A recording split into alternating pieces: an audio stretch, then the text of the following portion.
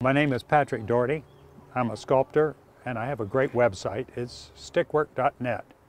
Well, I always try to make some kind of a, a, a footprint for the piece and that sets some parameters.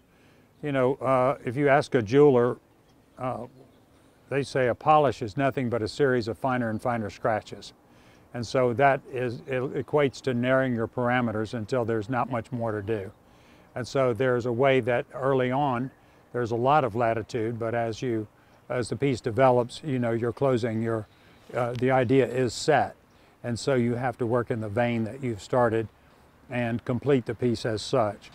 feel that the piece is, is, is working in the sense that uh, uh, we wanted a piece that advertised itself, so we decided, decided that I would have some kind of heads or standards or something on top of these pieces so that it would turn it into um, more than shelter, that it would be a bit of a, uh, a circus of some sort.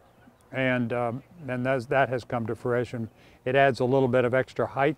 Well, I loved working here at the Gardens. I think it's a beautiful place. I caught it just on the cusp of spring. Uh, over the weekend, a lot of the flowers just came flying out of their folds, and you know it's it's beautiful. And uh, I was particularly enjoyed working with the staff here. They, they're uh, you know, I work with all kinds of organizations and I, I get to know the good ones from the bad ones. And this is a very, very well run, very good place.